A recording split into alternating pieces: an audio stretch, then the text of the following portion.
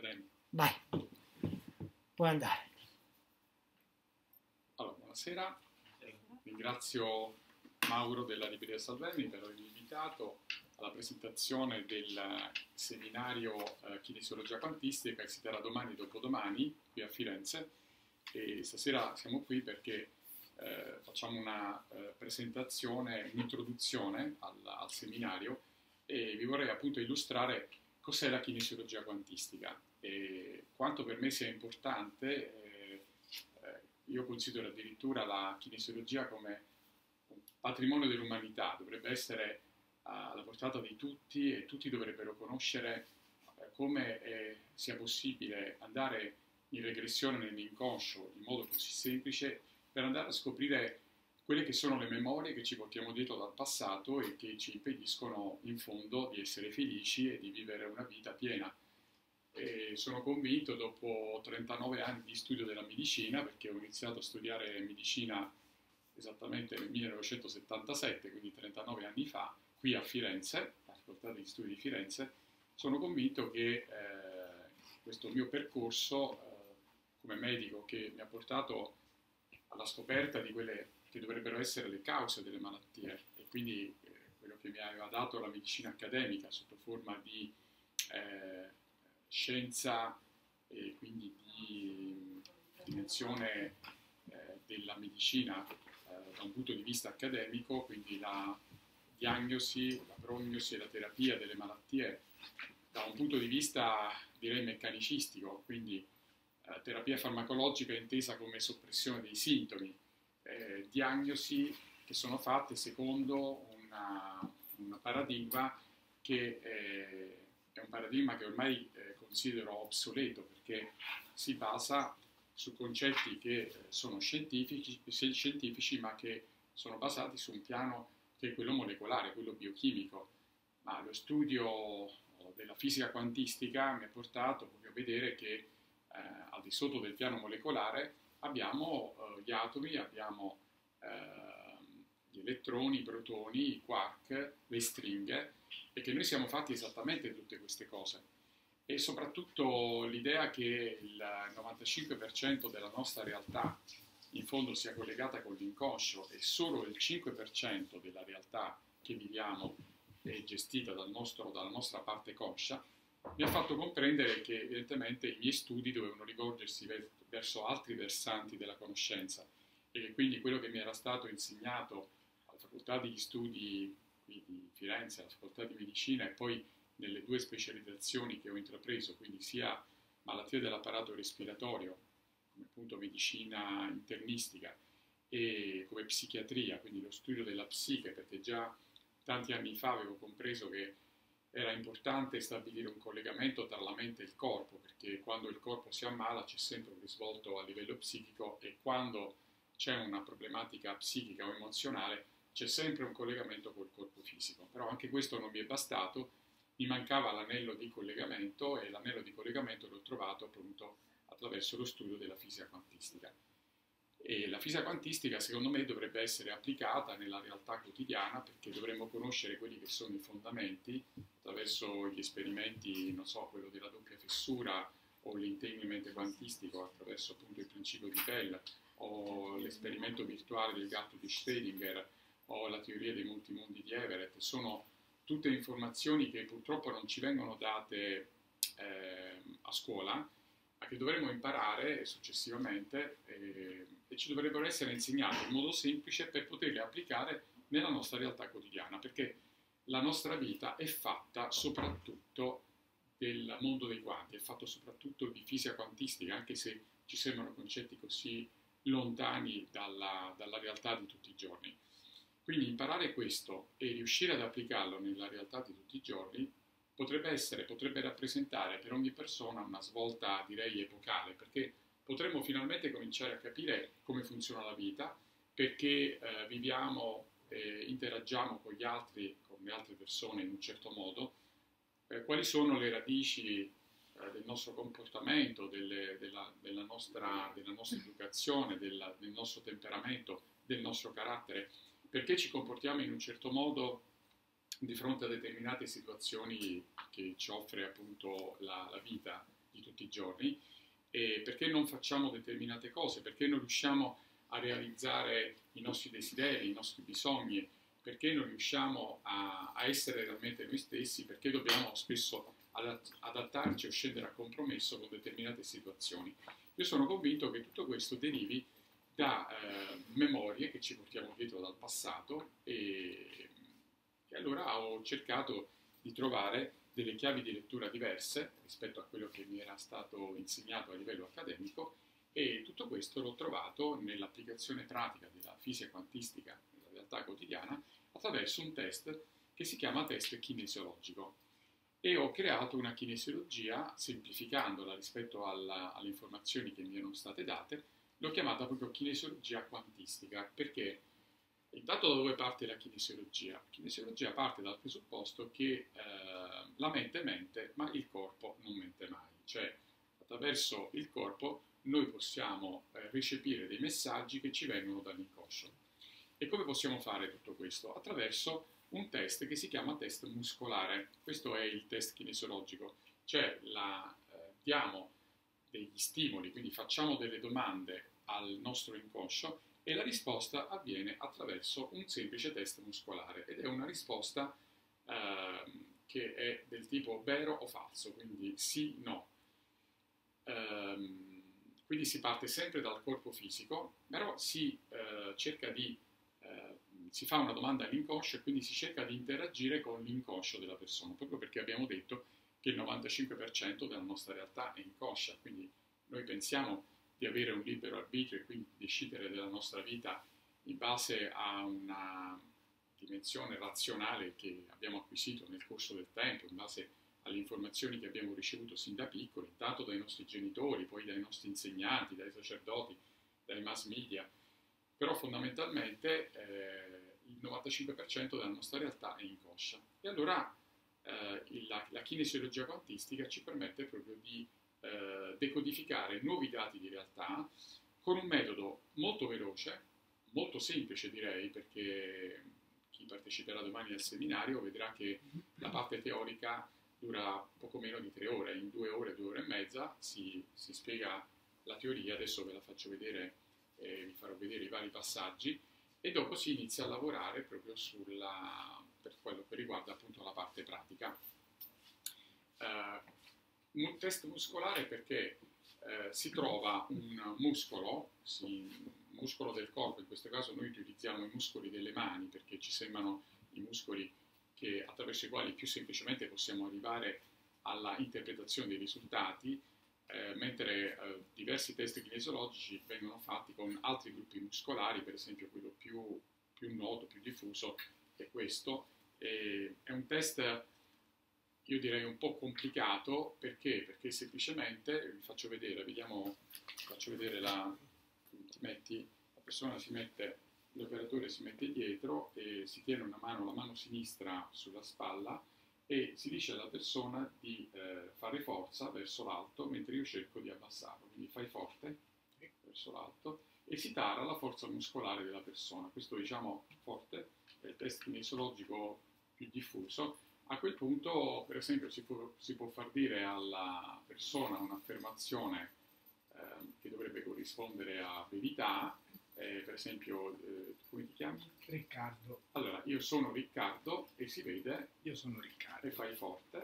Perfetto. Se facciamo dire un'affermazione che assolutamente non è veritiera, quale può essere eh, io sono Giuseppina e ho le mestruazioni, quindi un'affermazione assolutamente non vera. Sono Giuseppina e, e purtroppo.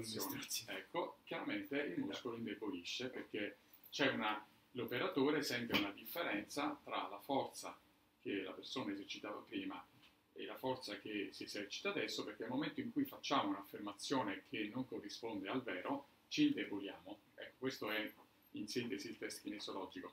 Grazie. Questo significa che fondamentalmente tutte le volte che noi diciamo delle bugie a noi stessi ci indeboliamo, perché tante persone oggi sono stanche, sono sempre stanche, è perché vivono una vita eh, che forse non gli appartiene. Magari escono di casa la mattina, magari non vorrebbero neanche svegliarsi, magari sono costretti a svegliarsi a un'ora che, che non corrisponde con quelle che sono le loro esigenze, magari vorrebbero dormire un po' di più, poi vanno a fare un lavoro che, che non è più in risonanza con quelle che sono le loro aspettative, i loro bisogni, i loro desideri, magari litigano anche col capo ufficio, poi tornano a casa, trovano un marito o una moglie o un partner che, eh, ormai, con il quale ormai vivono un rapporto che è un rapporto di tipo opportunistico e, e, poi hanno tante di quelle cose da fare durante la giornata che alla fine della giornata sono stanchissimi, ma al di là della stanchezza fisica è probabile che abbiano detto delle bugie a se stessi, quindi si sono indeboliti, si sono indeboliti a livello energetico, quindi hanno disperso tantissime energie perché non sono riusciti realmente ad esprimere al meglio la loro vera essenza. Il test kinesiologico, questo semplice passaggio, ci ha fatto capire che tutte le volte che noi diciamo una bugia a noi stessi ci indeboliamo. E dire una bugia a noi stessi significa anche so, fare un lavoro che non ti piace ed essere costretto a farlo, stare con un partner che non è più in risonanza con te, oppure continuare a fare una vita che non ti appartiene più. E questo, diciamo, è il test kinesiologico classico, quello che voi vedete fare nella maggior parte dei casi. Noi però utilizziamo eh, dei, degli altri muscoli indicatori, che sono quelli delle, delle, dita delle mani, perché abbiamo visto che questo test, dopo un po' di tempo, se a meno che la persona non è un culturista, quindi sapete quelli che fanno palestra tutti i giorni, che si allenano e quindi hanno dei fasci muscolari ipertrofici, dopo un po' di tempo facendo così ci si stanca. Siccome il test dura un quarto d'ora, 20 minuti, è difficile stare un quarto d'ora o 20 minuti col braccio, eh, con, l'arto superiore in questo modo, in questo, quindi disteso, e abbiamo pensato che fosse più facile eh, trovare come muscolo indicatore del test dei muscoli che sono quelli delle dita delle mani e quindi alla fine utilizziamo appunto questi muscoli, si fa quello che viene definito ring anello. E a cosa serve questo? Perché eh, la possibilità di trovare il muscolo indicatore ci dice che una volta appunto eh, ricercato questo muscolo, che è il muscolo che tiene ma alla fine cede, quindi io devo sentire una certa forza e dopo un po' di tempo il muscolo cede, a quel punto avendo trovato il muscolo indicatore, quello è il um, muscolo fondamentale di tutto il test, nel momento in cui daremo delle informazioni, chiederemo quindi sotto forma di affermazioni delle domande, faremo delle domande all'inconscio, quindi chiederemo delle informazioni, a seconda se il muscolo eh, sarà forte o sarà debole, ci verrà data una risposta, che è la risposta che cerchiamo, attraverso appunto la risposta eh, forte o debole del muscolo indicatore. Quindi la parte fondamentale del test è quello di eh, ricercare il muscolo indicatore. Dopodiché eh, abbiamo la possibilità di comprendere se la persona è o meno in switch energetico, cos'è lo switch?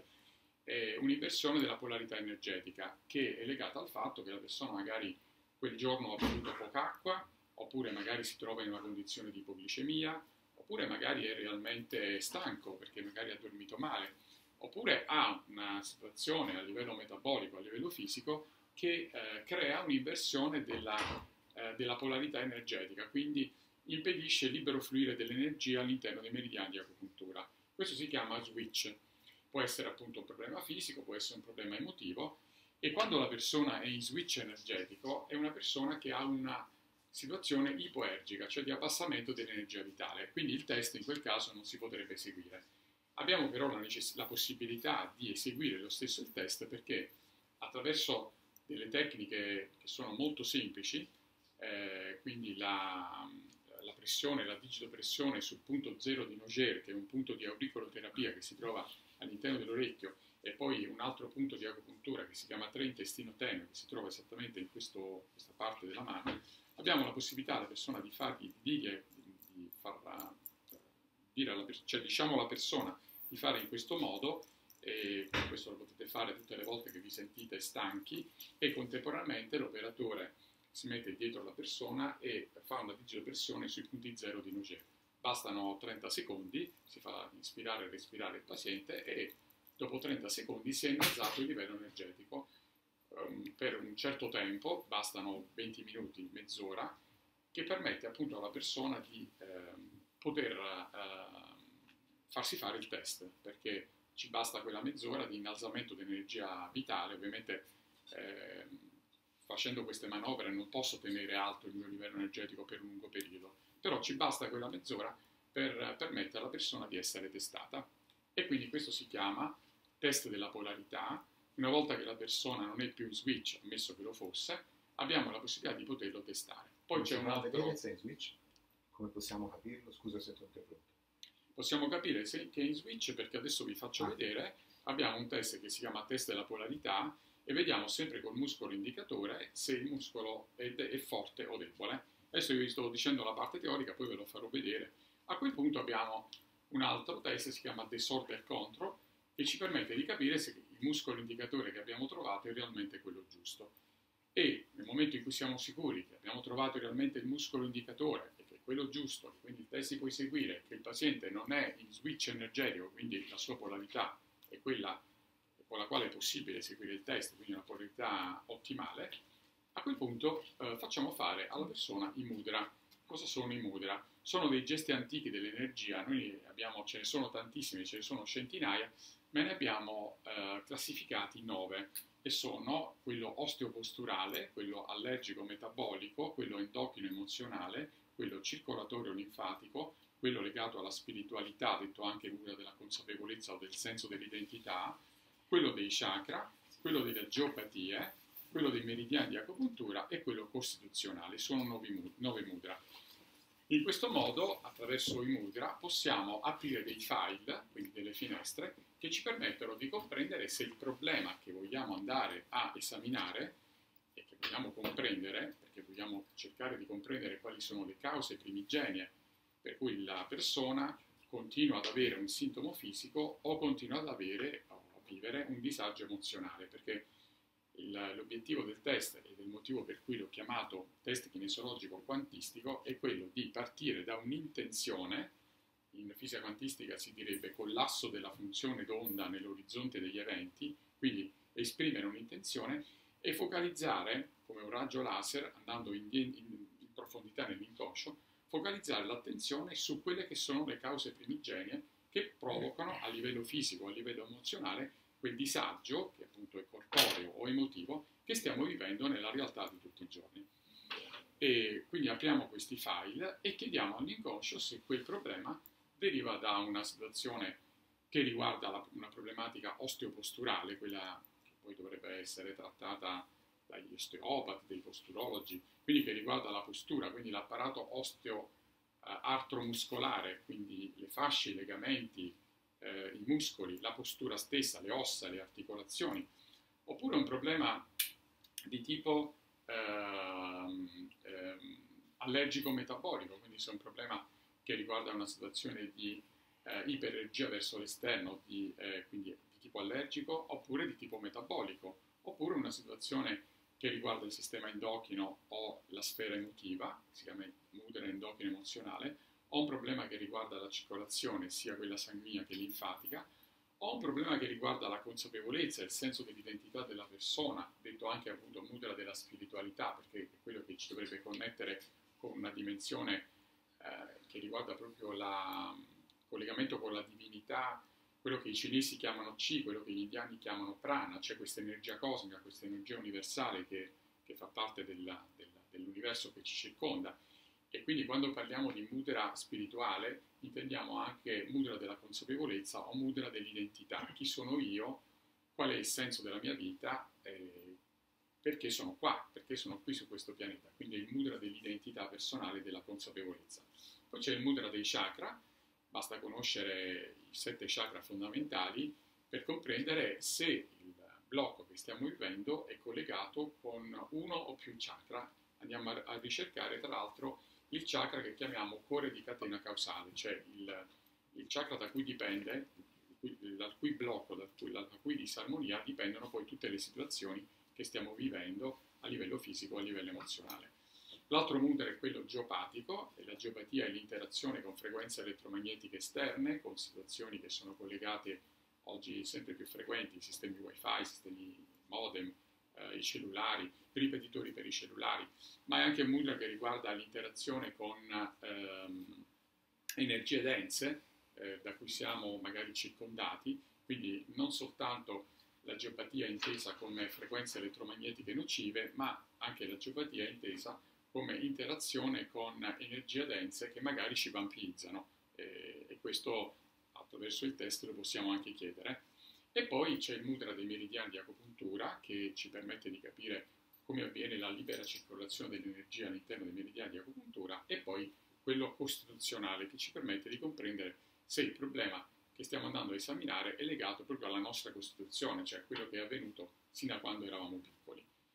A questo punto eh, abbiamo la possibilità di andare ancora di più in regressione nell'inconscio perché abbiamo la possibilità di chiedere al test attraverso eh, questo foglio che contiene eh, 168, eh, sono 168 possibilità, sono 168 tipi di blocco che possiamo vivere nella realtà di tutti i giorni.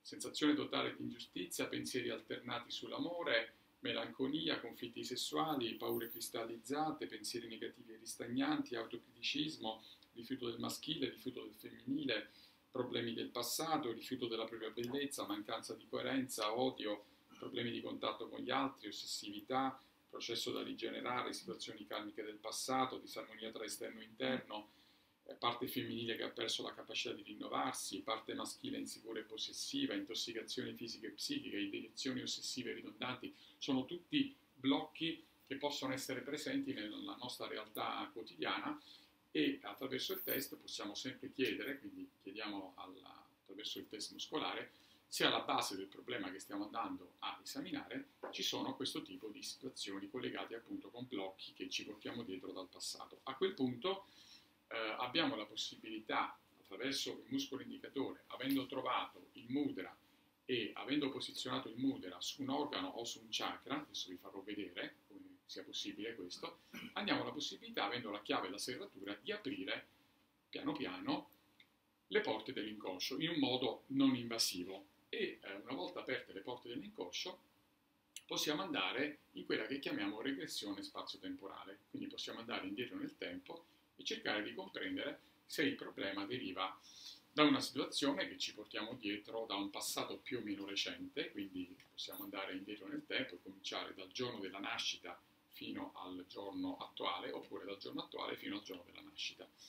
Il test ci indicherà sempre attraverso il muscolo indicatore qual è il periodo o qual è l'anno, qual è, pensate addirittura il giorno e il mese, eh, nel quale si è verificato il conflitto, da cui, dal quale è cominciato il conflitto e possiamo andare anche in regressione spazio-temporale andando a valutare se il problema è avvenuto eh, nel giorno della nascita, perché il giorno della nascita è sicuramente un giorno particolare per la storia dell'individuo, possiamo andare ancora più indietro nel tempo e comprendiamo se la problematica si è verificata durante l'età gestazionale, quindi nei nove mesi quando eravamo nell'utero della mamma, o al momento del concepimento, quando appunto siamo stati concepiti, o addirittura per chi di voi conosce le costellazioni familiari sa quanto siano importanti tutti eh, i conflitti eh, che sono collegati con quello che oggi si chiama genoma emozionale, quindi che ci portiamo dietro dagli avi, e quindi chi di voi conosce le costellazioni familiari di Bert Hellinger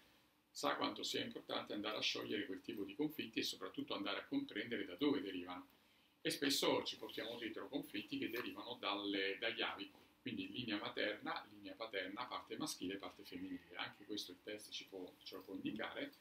E dopo andiamo ancora più indietro nel tempo e possiamo andare a valutare se ci sono situazioni che eh, sono collegate con eh, altre vite. Chi di voi appunto crede alla reincarnazione sa che eh, c'è una dimensione, sono i vari cicli, il karma, quindi sono i vari cicli che sono collegati con le vite, questa mm, visione della, di tutte le tradizioni orientali per cui l'anima si incarna continuamente in vari corpi. Eh, chi di voi non crede alla reincarnazione, come, come personalmente ecco, io penso che eh, la reincarnazione, è, mm, l'idea della reincarnazione nasce 5.000 anni fa e però 5.000 anni fa non si conosceva la fisica quantistica.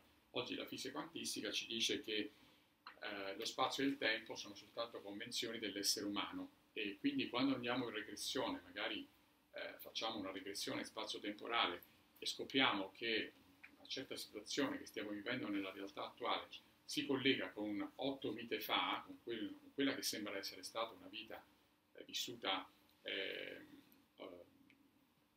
c'è un'esistenza vissuta otto vite fa, io sono convinto che, come afferma la fisica quantistica, secondo la quale eh, noi siamo degli esseri multidimensionali e sincronici, quindi viviamo in vari spazi-tempi, quindi la nostra anima eterna è infinita, stiamo semplicemente, anziché vedere il tempo come una freccia orizzontale, basta vederlo in senso verticale, noi ci posizioniamo dall'alto e scopriamo che tutto è sincronico e multidimensionale, la nostra anima è eterna ed infinita, viviamo in vari spazi-tempi, tutto avviene sincronicamente, simultaneamente, contemporaneamente. Quindi quella che sembra essere una vita collegata con una uh, realtà di otto vite fa, quindi magari eh, che ci porta indietro nel 300, nel 400, è qualcosa che sta avvenendo contemporaneamente, sincronicamente e simultaneamente in un altro spazio-tempo è sempre noi, siamo sempre noi, alla nostra anima, che lo sta vivendo. Sono concetti moderni che sono collegati con la dimensione della coscienza globale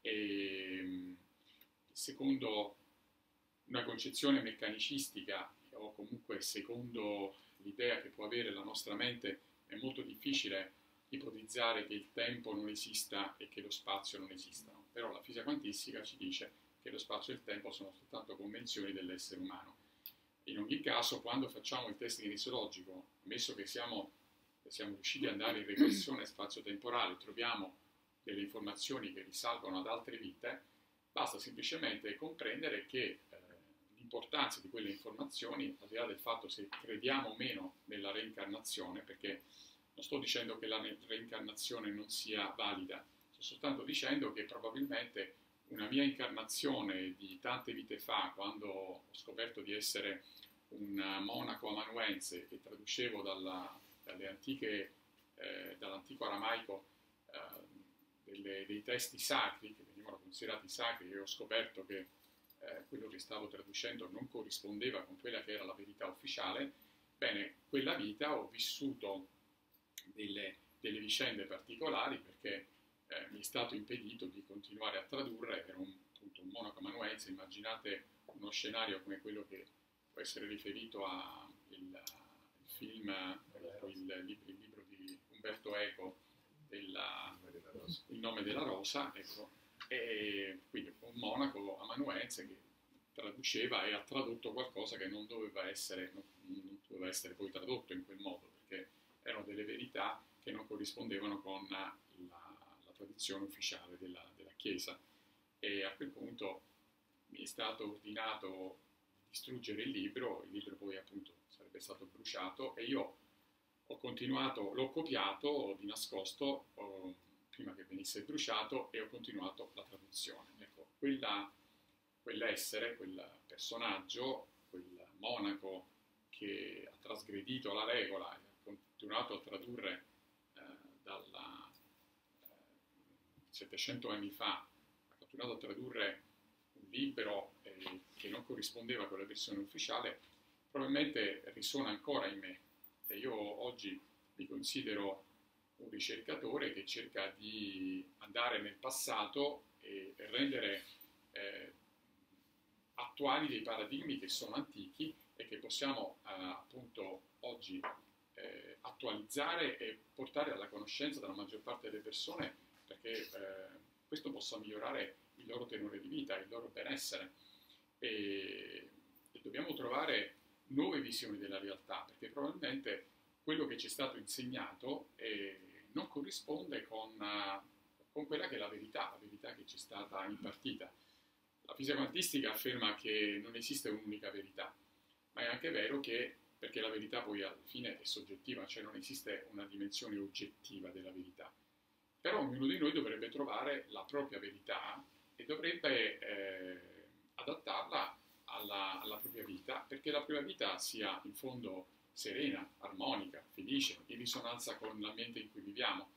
Il test kinesiologico ci permette anche questo, perché attraverso la kinesiologia quantistica possiamo comprendere quello che ci è eh, successo nel passato, quello che è avvenuto, che eh, evidentemente continua a dare segno di sé nella realtà di tutti i giorni e che ci impedisce di essere felici e questo viene manifestato attraverso i sintomi che poi chiamiamo malattie o attraverso quei disagi emozionali che poi quando vengono strutturati vengono definiti malattie vere e proprie psichiatriche o comunque disagi psichici eh, che vanno dalle nevrosi, dalle nevrosi d'ansia, agli attacchi di panico, tutte le problematiche eh, psichiche che sono oggi molto frequenti, io lo vedo spesso perché come psichiatra eh, molte persone si recano da me perché hanno problematiche di tipo emozionale profondo e, e contemporaneamente hanno anche sintomi fisici quindi il collegamento che dobbiamo fare non è più riferendoci soltanto alla psicosomatica, cioè eh, capire e comprendere che un problema psichico ha sempre una componente sulla, sul soma, cioè sul corpo, è una problematica corporea ammette sempre un risvolto emozionale, ma dobbiamo fare un'opera di vera e propria integrazione alla ricerca di quelle che sono le cause. E le cause sono sempre collegate con il passato, con memorie antiche, con forme pensiero, con qualcosa che ci portiamo dietro che è nell'inconscio. E quindi attraverso il paradigma che ci è stato insegnato all'università eh, non possiamo andare in regressione nell'inconscio, possiamo semplicemente o sopprimere un sintomo, quindi, non so, c'è un problema ansioso, prescriverò degli ansiolitici. C'è un problema depressivo, prescriverò degli antidepressivi. Se c'è un problema fisico, una banale infiammazione, prescriverò degli antinfiammatori. Se c'è un dolore, prescriverò degli antidolorifici antinfiammatori. Se c'è un'infiammazione batterica, prescriverò un antibiotico, antibios, antivita, perché me la prenderò con i batteri che penso siano la causa del problema. E se c'è un'allergia, prescriverò un antistaminico la nostra è tutta, eh, se chiaramente l'antistaminico non basta, eh, prescriverò un cortisonico. La nostra è tutta una medicina anti, cioè una medicina soppressiva, ma non va alla ricerca delle cause. Io devo comprendere perché a livello fisico quell'infiammazione è diventata cronica o perché a livello emozionale quella situazione che era legata a una semplice deflessione del tono dell'umore è diventata una vera e propria struttura depressiva della personalità o un'ansia che diventa talmente parossistica che magari porta agli attacchi di panico o alle situazioni ossessive o a problematiche che poi vengono affrontate con psicofarmaci sempre più potenti. E voi sapete benissimo che quando in medicina si parla di patologie croniche è difficile riuscire a, a togliere i farmaci, cioè, anzi le patologie croniche ammettono delle terapie eh, che alla fine diventano eh, fino alla, al giorno della morte, cioè non, non è possibile una semplice problematica quale può essere l'ipertensione, che magari viene scoperta in un soggetto quarantenne, ammette che la persona debba prendere antiipertensivi eh, per tutta la vita. E spesso sappiamo che dopo qualche anno quella molecola non funziona più, quindi dovrà essere sostituita con un'altra molecola e poi ancora con un'altra, verranno fatte le associazioni. Questo perché?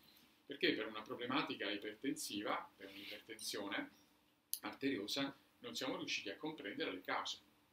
E quindi condanniamo, perché poi alla fine diventa una condanna, magari un quarantenne, a prendere per tutta la vita uno o più farmaci, dicendogli, beh, insomma, l'ipertensione è un'ipertensione essenziale, essenziale significa, abbiamo coniato in medicina una serie di termini, quando non conosciamo la causa, abbiamo, noi deriviamo, sapete, la nostra cioè, lingua la, italiana deriva dal latino, quindi abbiamo coniato dei termini aulici, quindi essenziale, criptogenetica, idiopatica, sono dei termini che stanno a significare non conosco la causa, però appunto perché non conosco la causa, per tutta la vita tu sarai costretto a prendere uno o più farmaci.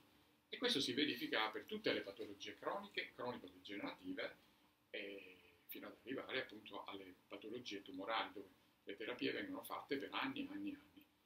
Allora, questo perché succede? Perché eh, il paradigma di partenza è quello sbagliato. Il paradigma di partenza è quello basato sulla legge dei contrari, cioè se io ho un sintomo devo sopprimere il sintomo, se io ho un dolore devo sopprimere questo sintomo dolorifico, no? se ho un'allergia devo eh, usare una molecola che è un antistaminico per sopprimere quell'allergia, ma eh, se io non comprendo la causa, è chiaro che per tutta la vita sarò costretto a prescrivere farmaci se noi comprendessimo, questa è l'allopatia, il concetto dell'allopatia, allos deriva contrario, no? applicazione inesorabile della legge dei contrari, che per me è una legge che eh, va benissimo se usata in emergenza, quindi nelle unità di rianimazione, nelle terapie intensive o nei pronti soccorsi, utilizzare questa legge è fondamentale perché ci permette di andare contro la morte, quindi in una situazione di pericolo di vita ben venga l'utilizzo del cortisone perché il cortisone salva una vita umana. Se il soggetto ha un edema della glottide perché c'è uno shock anafilattico in quanto è venuto a contatto con una sostanza estranea e quindi sta soffocando, io non posso andare a fare il test kinesiologico per capire perché è arrivato all'edema della glottide e allo shock anafilattico. In pochi secondi inietto endoveno del cortisone e salvo una vita umana. Non posso prescrivere il cortisone al bambino al telefono perché la mamma è preoccupata in quanto il bambino ha la febbre, la tosse, il mal di gola, il raffreddore, la febbre magari continua a essere 39, la mamma ha già dato la tetipirina, poi ha dato l'antibiotico e la febbre continua e quindi prescrivo al telefono il cortisone, quindi il Bentelan. Sperando che il sintomo venga soppresso, perché questo è quello che si verifica poi nella realtà di tutti i giorni. Oppure se c'è una persona, un paziente che ha una malattia magari di tipo autoimmunitario delle articolazioni, tipo l'artrite reumatoide, posso pensare di prescrivere per tutta la vita il cortisone, poi se non funziona il cortisone la zedioprina, poi il metotrexate, poi i farmaci biologici e per tutta la vita costringerò questa persona a fare una terapia che poi diventa una terapia cronica perché? Perché non ho compreso la causa che ha creato quella eh, distruzione della cartilagine articolare a carico di alcune articolazioni del corpo che chiamiamo artrite reumatoide.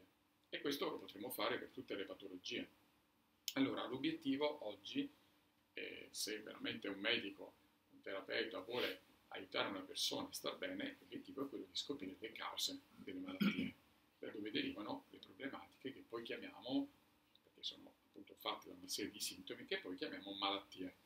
E eh, vi ricordo che ho scritto un libro che si chiama Benattia e questo libro intitolato Benattia, mutuandolo proprio da un termine che ho imparato quello che considero essere il mio maestro, che è il dottore Marcello Mozzellato, perché per la prima volta lui affermò questa frase, questa frase mi ha colpito, la malattia non è qualcosa di negativo, è una malattia, è qualcosa di positivo, un messaggio che mi manda il corpo.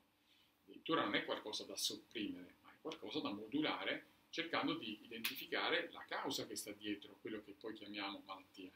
Ecco, allora il test kinesiologico ci dà proprio la possibilità di andare nel passato nell'inconscio alla ricerca di quelle che sono le cause primigenie delle malattie.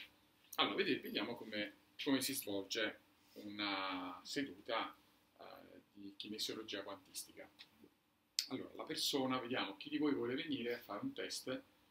Eh, il test serve a... Eh, dovete avere però una domanda, cioè c'è un quesito. Il test non si fa alla cieca, era un grande errore che facevamo nel passato perché eh, in passato quando io ho imparato questo test nel 2000 e veniva fatto un test cosiddetto alla cieca, cioè eh, la persona veniva sottoposta al test e venivano fuori una serie di informazioni che erano centinaia e centinaia e alla fine dovevi cercare di assemblarle, metterle insieme e integrarle. Oggi invece, partendo proprio dal concetto quantistico del collasso della funzione d'onda, eh, partiamo da un'intenzione, cioè la persona deve fare una domanda eh, al terapeuta, vorrei comprendere perché mia vita avviene una certa cosa perché ho questo tipo di malattia o perché ho questo tipo di disagio emozionale o perché semplicemente nella vita di tutti i giorni non riesco a, a vivere quella situazione, a esprimere me stesso in, quella, in quell'altra situazione o perché continuo ad avere problemi col mio capo ufficio, con, con la mia partner, con mia moglie, con mio marito o perché ho una problematica con uno dei miei figli ecco, o con mia suocera. Cioè, possiamo cercare, eh, l'importante è fare una domanda e poi andando in regressione nell'inconscio possiamo comprendere quali sono le, veramente le cause primigenie, cioè quelle memorie antiche che ci portiamo dietro dal passato e che una volta sciolte, perché abbiamo anche la possibilità di scioglierle, con delle tecniche semplicissime che vengono appunto insegnate nella, nel corso, nel seminario sulla kinesiologia quantistica, quindi ho adottato delle strategie molto veloci eh, che ci permettono di sciogliere queste memorie. Lo si fa in pochi minuti e una volta appunto compreso il conflitto e quindi andando a, andato a individuare il conflitto e una volta che possiamo scioglierlo con queste tecniche molto semplici, la persona finalmente si libera eh, di quella zavorra. Qualcuno potrebbe pensare a una situazione karmica, ecco, ci liberiamo di karma. Gli orientali direbbero abbiamo possiamo trasformare il karma in dharma, lo possiamo fare in modo veramente veloce e questo ci permette sicuramente di sentirci più leggeri. Eh, abbiamo liberato dal nostro campo energetico dell'energia densa e l'abbiamo fatta diventare sottile. Ci siamo liberati di una zavorra che probabilmente non ci appartiene o magari non ci è mai appartenuta perché eh, magari si riferiva a situazioni che non erano nostre, che magari si riferivano, se parliamo della vita prenatale, alla mamma durante la gravidanza, oppure alle costellazioni familiari secondo Bert Hellinger perché ce le portavamo dietro dagli avi, oppure ce li portiamo dietro da, da altre vite, oppure ce li portiamo dietro da quando siamo piccoli e magari eravamo talmente piccoli che eh, non siamo stati in grado di decodificare quello che avveniva nel momento in cui vivevamo quel tipo di, di situazione, proprio perché eravamo piccoli e non, abbiamo, non, siamo stati in grado di chiedere aiuto a nessuno dei, delle figure di riferimento. Allora, vediamo chi vuole venire. Dai, vieni. Sono straniera, però capisco bene italiano, forse Beh. questo sarà... Va bene. Sei una curiosa, quindi... Allora, come ti chiami? Larissa. Larissa. Allora, eh, cosa vuoi chiedere al test? Io ho sempre la difficoltà di respirare. Se anche ah. qualcuno ah. respira male, già anche io... Ah. Ora comincio a parlare già, mi è difficile respirare. E questa difficoltà di respirazione ha comportato nel passato un problema proprio fisico, tipo asma bronchiale? No. No, quindi è un problema no, soltanto... No, nemmeno claustrofobia, no. niente, però... È come se avessi un respiro sempre corto. Sì, non, mm. non posso respirare così. Sì, quindi è come se mi, ci fosse... Mi crea problemi perché a volte mi fa male anche i, i muscoli della sì, respirazione.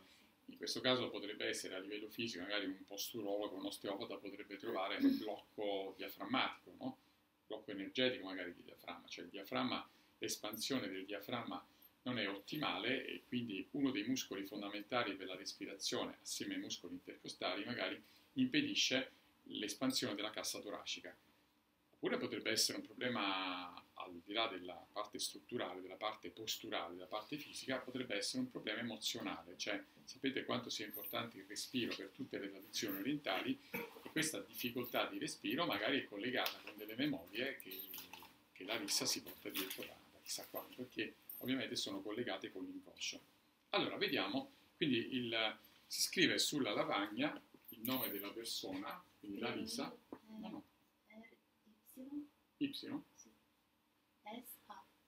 Larissa. Dove sei nata? Giorgia. Ah, Giorgia. La data di nascita? 14 06 nel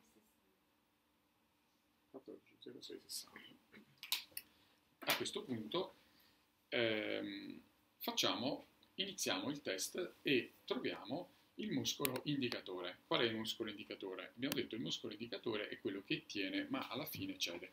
Eh, chiaramente dobbiamo, scriviamo sulla lavagna il motivo per cui è venuto la rissa, quindi scriviamo difficoltà respiratorie, difficoltà, no? Bene? O disagio respiratorio. Cosa, la sensazione che hai qual è? Che non riesci mai a respirare liberamente? Sì, sì. Mettiamo difficoltà respiratorie, in modo che ogni volta ci riferiremo a questo tipo di problematica, difficoltà a respirare. Ovviamente questa è una situazione particolare perché se andassimo a fare, non so, una spirometria, non troviamo magari, non so se è mai stata fatta una spirometria, che è un'indagine funzionale respiratoria che appunto utilizzano gli epneumologi per andare a vedere se c'è un deficit respiratorio. Magari nel caso di Larissa non troveremo nulla di particolare, però intanto lei sente questo disagio, lo percepisce. Sì. Allora troviamo il muscolo indicatore, che è il muscolo che tiene, ma alla fine cede. Quindi diciamo alla rissa di fare il ring. Fai forte. Ok, vedete com'è forte. Se io volessi eh, aprire il, questo ring, il muscolo, dovrei fare una forza enorme, ma siccome non è una prova di forza, vado verso il mignolo, quindi più vado verso il mignolo, più la, la, forza di Larisa diminuisce, la mia, diventa, la mia forza è sempre la stessa, quindi dico a Larisa di fare, di fare il ring con un altro dito, in questo caso col secondo, fai forte, anche questo è un muscolo abbastanza forte, quindi il muscolo indicatore è quello che tiene ma alla fine cede, questo è un muscolo che comunque tiene ancora abbastanza forte, se io volessi aprirlo dovrei fare una forza enorme e quindi trovo l'altro, provo l'altro, lo testo, forte, Ecco, questo vedete che tiene forte, forte, forte, forte, forte, però alla fine cede. Per essere sicuro vado anche sull'ultimo muscolo, quello che è collegato col mignolino, forte, e vedete questo apre subito. Quindi il muscolo indicatore, che è quello che tiene ma alla fine cede, che è diciamo l'elemento fondamentale di tutto il test, per la risa fai forte, e questo tiene, però alla fine cede, con una minima forza da parte mia. Una volta trovato il muscolo indicatore, abbiamo, ho detto prima, dobbiamo vedere se la rissa è in switch energetico. Cosa significa lo switch? Se c'è un'inversione della polarità perché c'è un abbassamento dell'energia vitale, la rissa si trova in una situazione in cui il test non è possibile eseguirlo perché troveremo tutta una serie di, chiamiamoli, si chiamano falsi negativi, cioè una serie di situazioni che non mi darebbero la possibilità di entrare direttamente nell'inconscio per comprendere le cause per cui la risa è in difficoltà respiratoria. Allora dobbiamo fare il test della polarità e vediamo se eh, la rissa è o non è in switch energetico. Faccio, guardate cosa succede, io faccio così e dico alla rissa di fare forte, fai forte, ed è fortissima. La sensazione che ho già io come terapeuta è che addirittura facendo in questo modo io ho reso più forte la risa, cioè il muscolo è diventato più forte, lo senti come forte? Ma se guardate che succede, se io faccio così, quindi inverto la polarità e dico alla risa di far forte, lei apre. Il, il test della polarità indica che la risa non è in switch energetico, cioè il test si può eseguire. Se lo fosse, con delle semplici manovre, abbiamo detto punto 0 di Nogge e punto 3 intestino tenue, direi alla risa per 30 secondi di fare contemporaneamente due, eh, queste due tecniche, 3 intestino tenue, e io premerei, farei una digiopressione sui punti 0 di Nogge di ambedue le orecchie, facendola respirare, inspirare respira, e, e, e, espirare, e nell'arco di 30 secondi troverei un innalzamento del livello energetico di Larissa e questo mi permetterebbe nella successiva mezz'ora di poter fare il test. Ma questo Larissa non è in switch energetico, quindi il test so che si può eseguire e a questo punto faccio il disorder control, cioè vado a vedere... Se fosse in switch invece, com'è che lo potevi vedere? Se fosse in switch energetico sarebbe così, guarda, no no no, se fosse in switch avrei, questo è sempre il muscolo indicatore, se lei fosse in switch, facendo così il muscolo diventa debole. Ah, e facendo così il muscolo è debole o forte. Quindi lo switch energetico si vede eh, quando il, ci sono quattro possibilità. Io faccio così e poi così. E il muscolo indicatore deve essere eh, nel primo caso forte e nel secondo caso debole.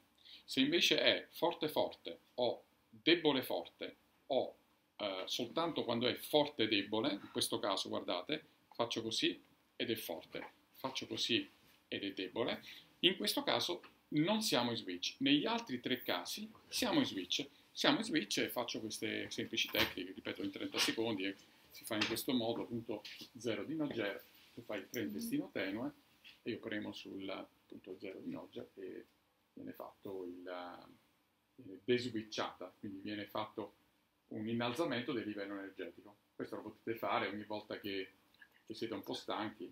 Punto 3 intestino tenue è questo, è un punto particolare dove c'è l'osso, quindi non sul muscolo ma sull'osso, deve farvi un po' male e quello serve a innalzare il livello energetico. Nel caso di Larissa invece non siamo in switch, il disorder control ci dice, ecco vediamo, il disorder control ci dovrebbe dire se il muscolo indicatore è realmente quello giusto. Guardate che succede, se io faccio così, senza toccarla, vi dico di far forte, è fortissima, molto forte, mm, non riesco neanche più a aprire, pensate. Ma se faccio così, senza toccarla, e dico di far forte, lei apre e il disorder control ci dice che il muscolo indicatore è esattamente quello giusto, perché nel primo caso è forte, nel secondo caso è debole, poteva anche essere inverso, nel primo caso debole, nel secondo caso forte. In questo, quando io trovo una diversità muscolo indicatore forte e debole o debole e forte attraverso il disorder control mi dà la conferma che il muscolo indicatore è esattamente quello giusto e che quindi il test si può eseguire. A questo punto dico alla rissa di fare i mudra. E quindi no, no, il muscolo indicatore rimane sempre lo stesso, i mudra li fai con l'altra mano e quindi dico fai così, forte, poi così, forte, poi così, forte, poi così, forte poi così, forte, poi così, Mm. no, Ah. sono queste, forte, poi così, forte, chiudi le tre dita, questo è un mudra perfetto, poi così, poi così, forte. Quindi ho chiesto se le difficoltà respiratorie di Larissa sono legate a situazioni che eh, si riferiscono a uno o più mudra, quindi problematiche osteoposturali, allergico-metaboliche, endocrino-emozionali, circolatorio-linfatiche, spirituali, relative ai chakra, geopatiche, relative ai meridiani di acupuntura, costituzionali. E l'inconscio di Larissa mi ha risposto, non te lo dico, non mi vuole far entrare, non mi permette di entrare nel sistema. E questo è possibile perché l'inconscio è inconscio, appunto, e sono quanti anni hai? 55. Sono 55 anni che si è costruita la sua struttura di personalità, adesso arriva una persona e vuole entrare così, in modo così semplice, nell'inconscio, c'è sempre una sorta di ritrosia o di resistenza, no? Allora abbiamo la possibilità delle fiale test e di capire quali sono i blocchi e nel momento in cui eh, verrà fuori il blocco e quindi semplicemente lo, lo esprimiamo, eh, abbiamo la possibilità di eh, aggiungere un ulteriore tassello e dare quindi la possibilità all'inconscio di aprirsi, perché la persona prende sempre più consapevolezza di qualcosa che è collegato col problema che si riferisce alla difficoltà a respirare. Vediamo, fai forte, forte, dovremmo trovarne almeno uno, forte, forte, forte, gira la pagina, sono 168 possibilità diverse, forte, forte, forte, forte, qui c'è qualcosa, forte, incapacità a sopportare situazioni o persone. E questo tipo di informazione la scriviamo qua. Incapacità di sopportare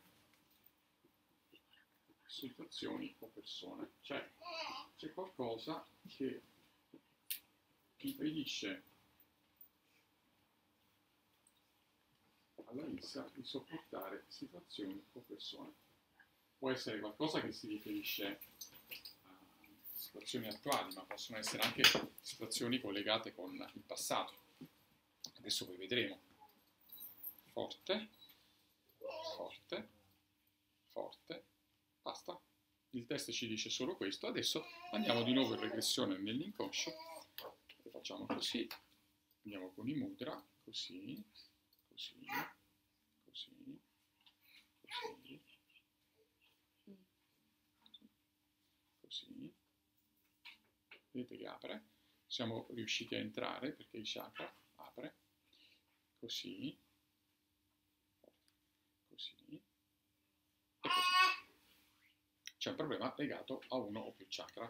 Adesso dico alla Lisa di fare il mudra dei chakra, quindi lo mette in basso, lo tieni però sempre inserito e io testo i chakra, settimo, sesto, quinto, quarto, terzo, secondo e primo.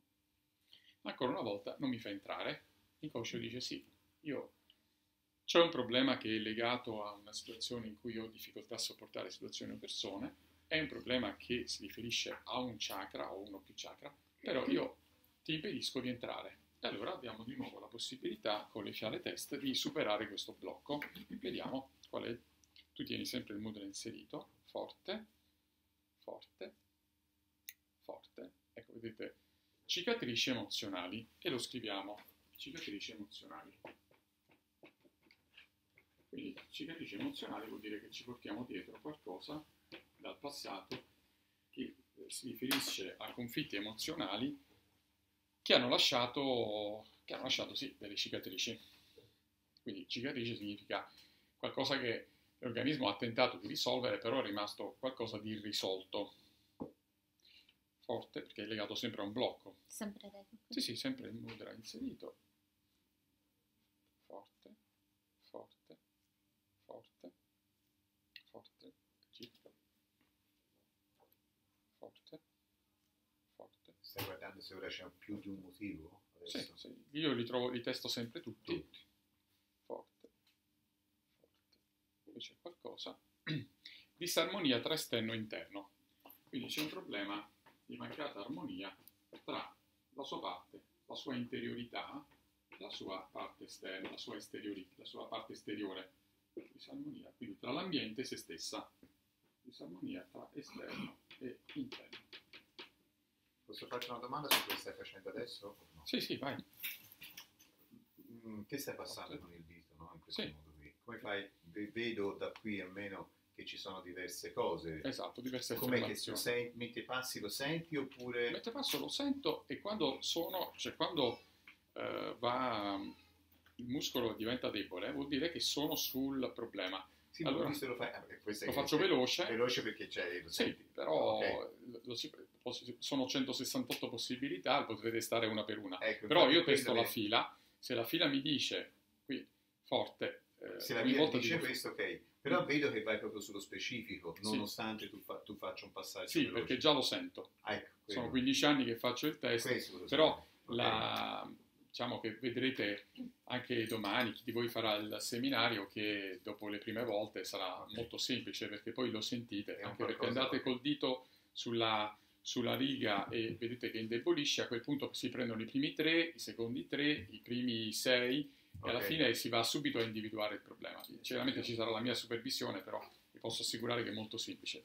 Alla fine dopo tanto tempo voi lo sentite perché eh, comunque io ecco sono qua, sono arrivato alla disarmonia tra esterno e interno, quindi siamo qua, forte mi manca l'ultima riga, forte, qui c'è ancora qualcosa, stanchezza psicofisica, per cui la risa si stanca abbastanza,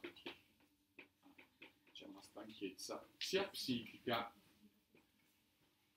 che fisica, stanchezza psicofisica. Adesso vediamo, forte tieni sempre il mudra inserito, forte. Ok, basta, stoppiamo. Ok, grazie. Adesso abbiamo trovato il chakra, ma dobbiamo posizionarlo su un chakra perché dobbiamo, è come la chiave e la serratura, no? abbiamo la chiave dobbiamo metterla direttamente nella serratura. Vediamo qual è la serratura che ci permette di aprire le porte dell'inconscio.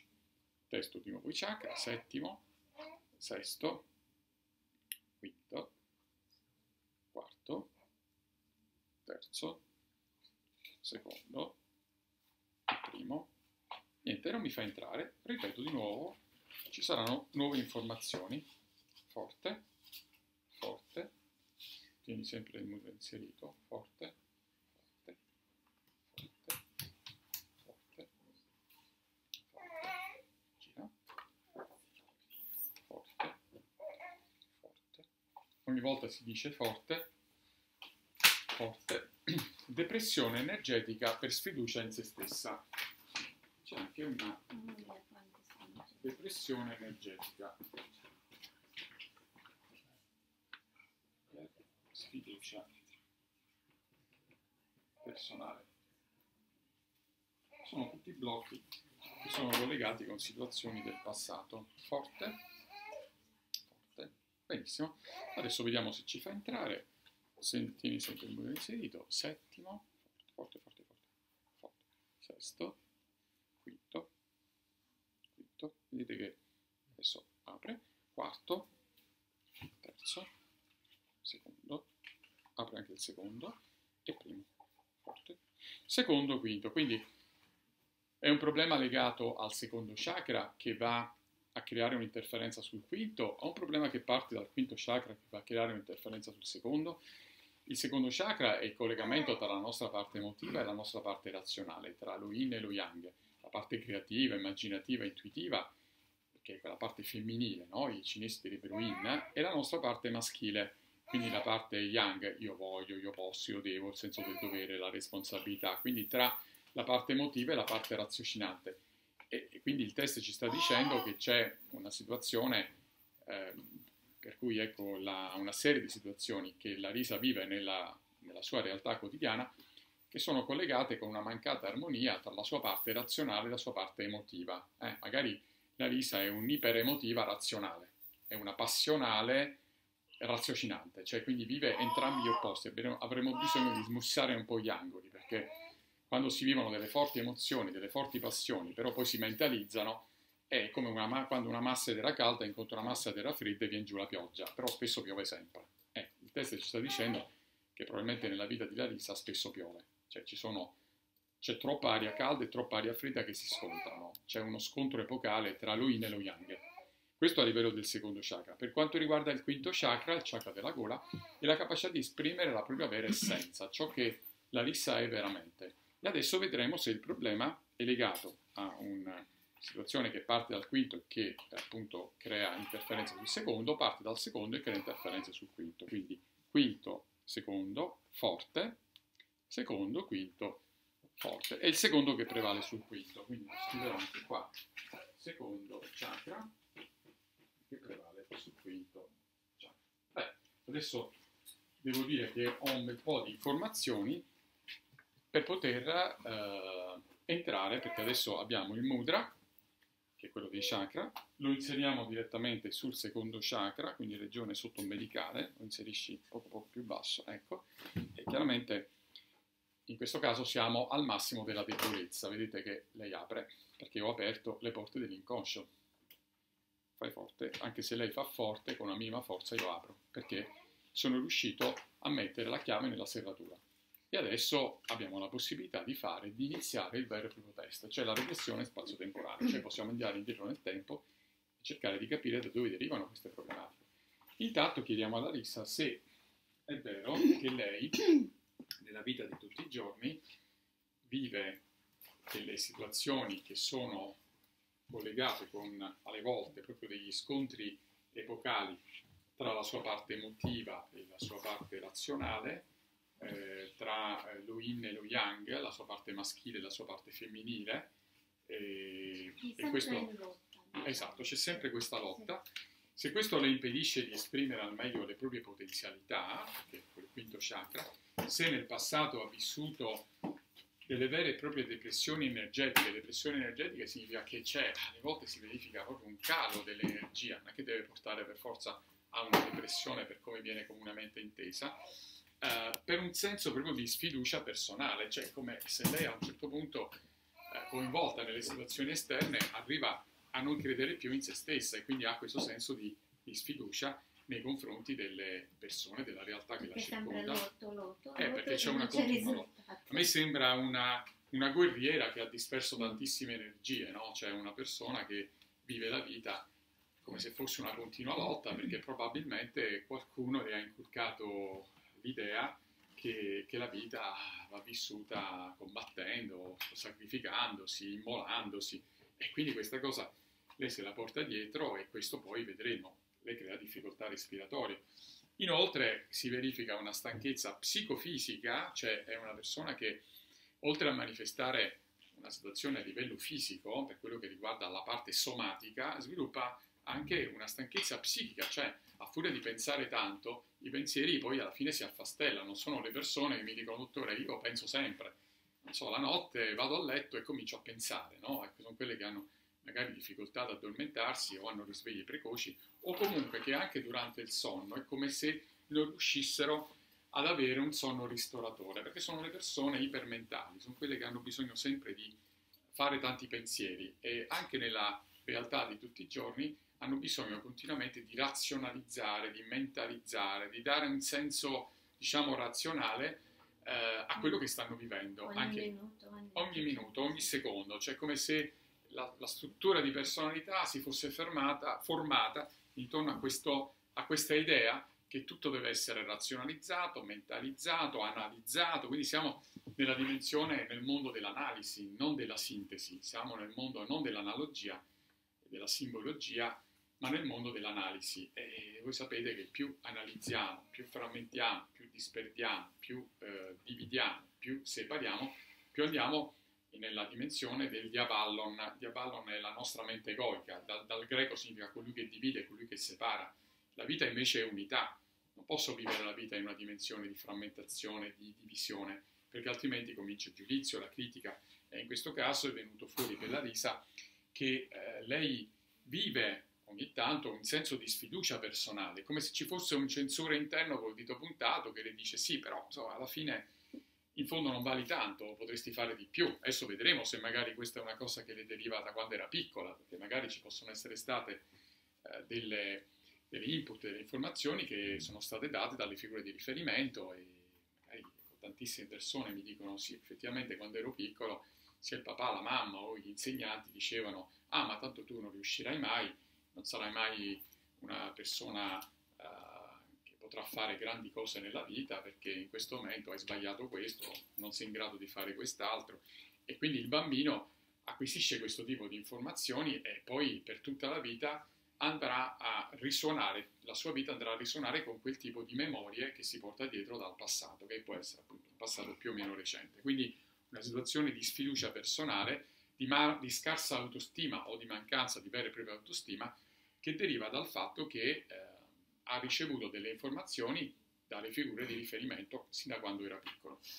Poi c'è una disarmonia tra esterno e interno, proprio perché la Lisa vive questa, eh, questa disarmonia. La vita viene vissuta in questo caso come se fosse una lotta no? tra l'interno e l'esterno, non c'è un'armonia, eh, c'è una continua più che una guerra, che magari guerra è dirlo, in, cioè una definizione un po' estrema, ma una vera e propria conflitto, una serie di conflitti tra quello che è dentro di sé, quindi la parte, eh, la parte di Larisa che eh, riguarda la propria interiorità, e quello che è l'esterno, cioè l'ambiente in cui vive.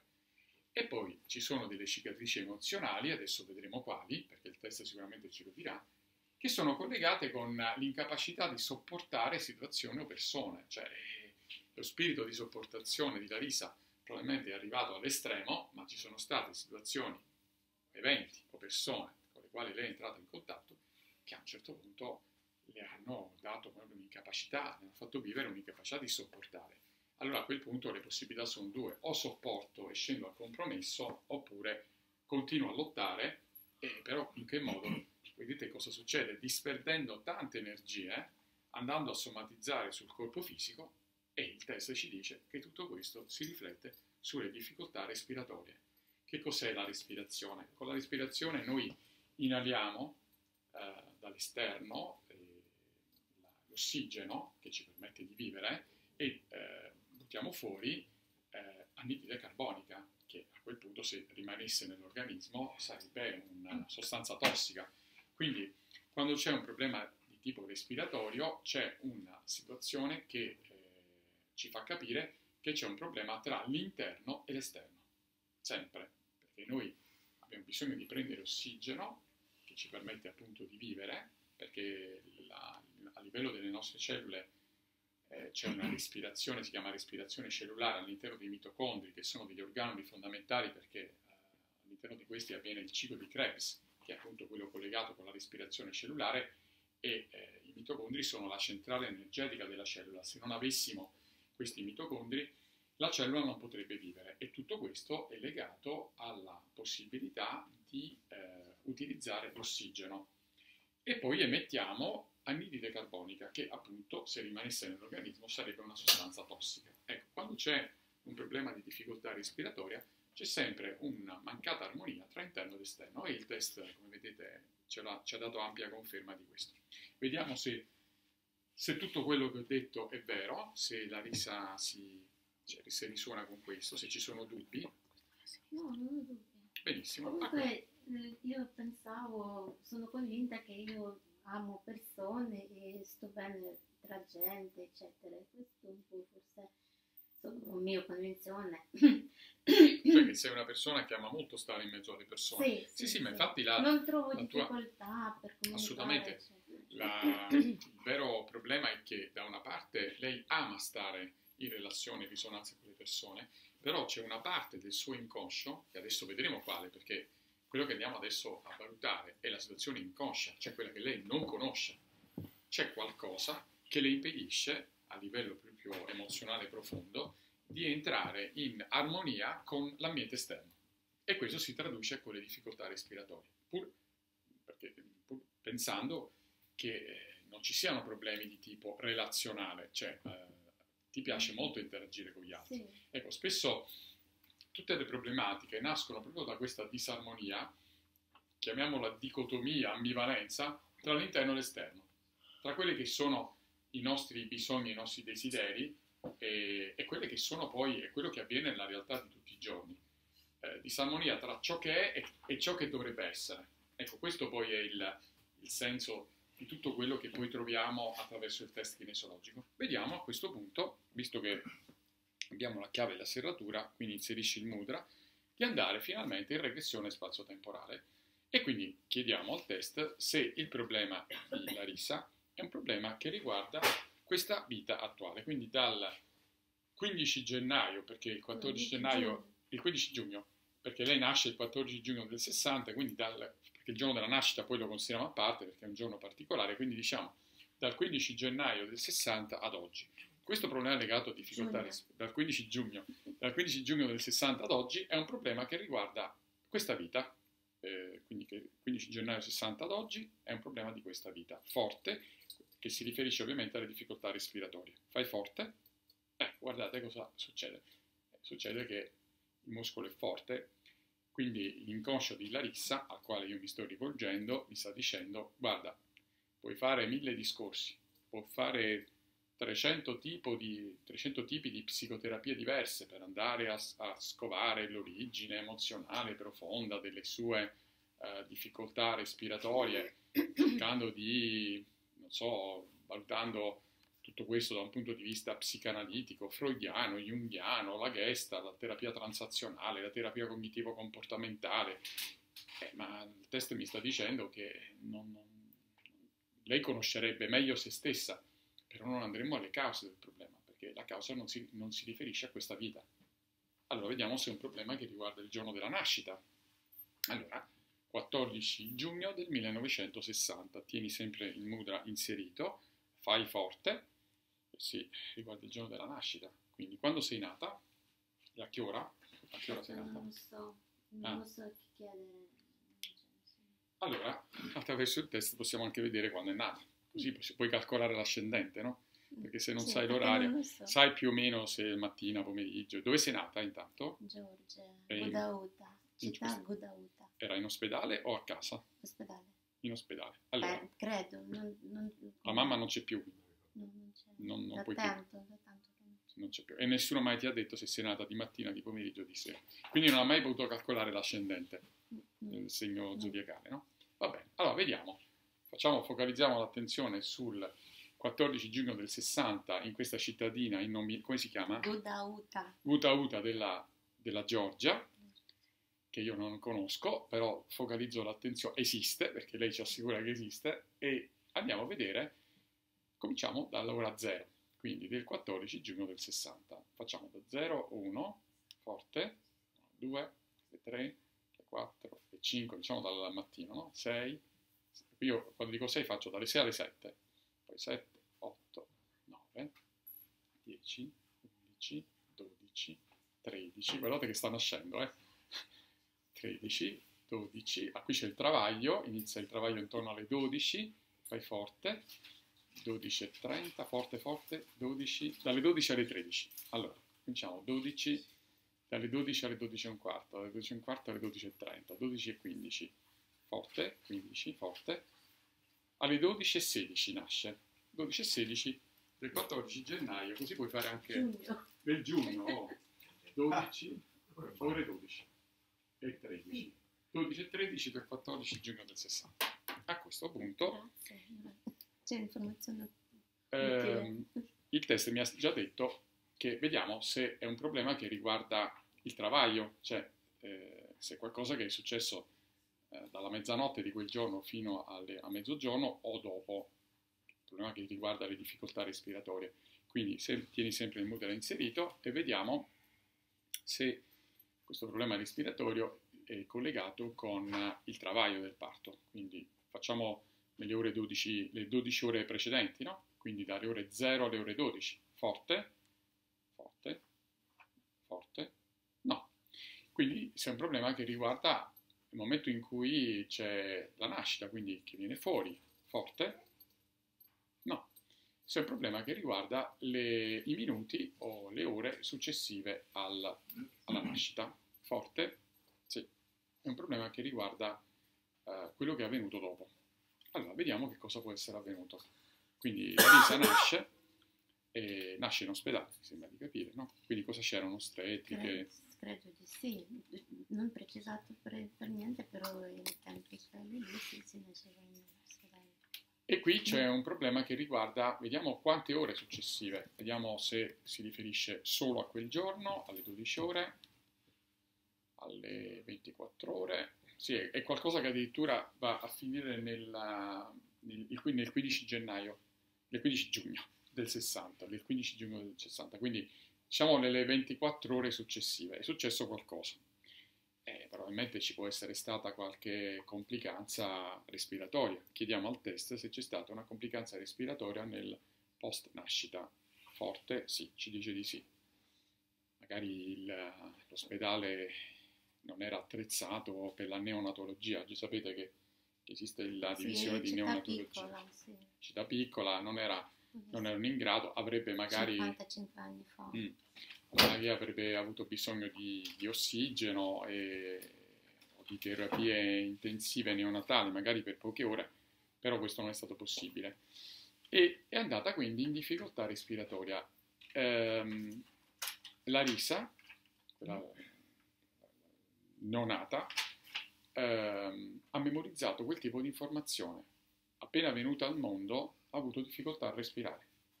E il test ci sta dicendo che se lo porta dietro questa memoria. Adesso dobbiamo cancellarla perché è qualcosa che, che si porta dietro da 50, 55 anni. Tra poco 56. Cioè non è stato un problema nel travaglio, perché potevamo pensare a un'ipossia prenatale, no? Sapete che c'è un indice che si chiama indice di Apgar che eh, i medici, i ginecologi hanno definito per vedere se la persona ha avuto una sofferenza eh, durante il travaglio, prima quindi della nascita. E in questo caso il test ci sta dicendo che non c'è stato questo tipo di problema, quindi la risa nasce normalmente, fisiologicamente, eh, però il problema è intervenuto nelle ore successive e nel giorno successivo, nelle ore 24 ore.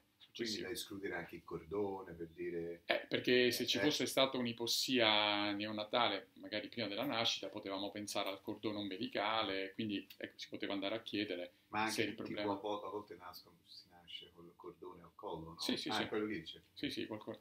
Però ecco, in quel caso, se fosse stato così, avrei chiesto, ecco, vediamo se è un problema legato al cordone ombelicale, magari era un problema legato al fatto che il canale del parto non si era aperto nel modo giusto.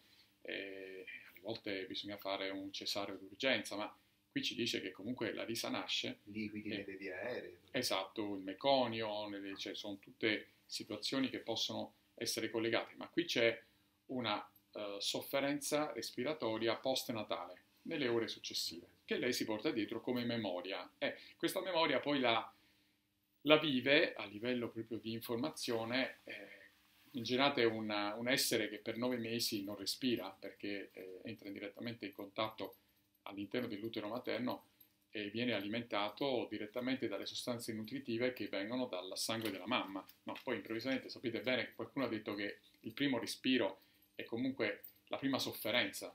Ecco, in questo caso eh, il test ci sta dicendo che i respiri successivi sono stati una sofferenza per lei. C'era un problema che magari non è stato compreso bene, ai tempi non c'era la possibilità di intervenire per risolvere il problema in tempi rapidi. Ecco perché poi io credo addirittura la neonatologia come, come proprio terapie nascano negli anni 80-90, sicuramente non nella Georgia degli anni 60. A questo punto, eh, avendo avuto questo tipo di informazione, che andremo a cancellare, perché ti è rimasta questa difficoltà a respirare in modo libero, in modo spontaneo. Eh? Quindi mh, mm, alla fine ce l'hai fatta da sola a risolvere il problema. Probabilmente i medici avranno compreso che c'era un problema. Ero forte. Eh, ce l'hai fatta lo stesso, sapete, in quei casi o vive o si muore. Eh.